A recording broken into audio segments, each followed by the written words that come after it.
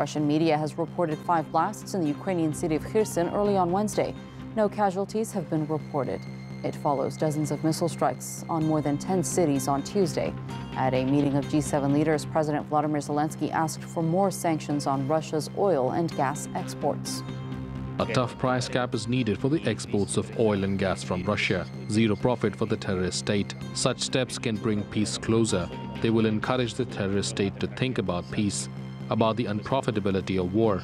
We must also recognize the obvious fact there can be no dialogue with this leader of Russia who has no future.